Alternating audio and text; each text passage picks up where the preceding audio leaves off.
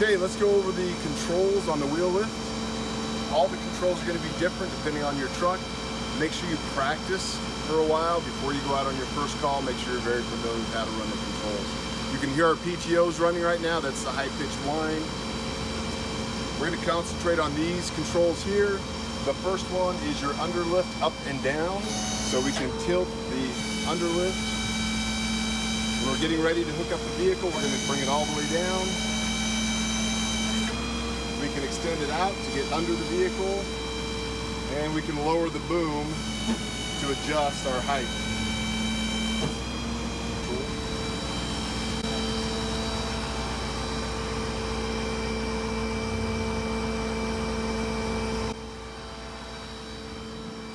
Okay, before you travel, when you're unloaded, make sure that your wheel lift is back into position.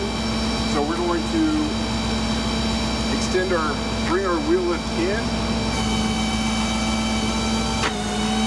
On this vehicle, we're going to lift the boom to its ride position. And then we will tilt the wheel lift up out of position.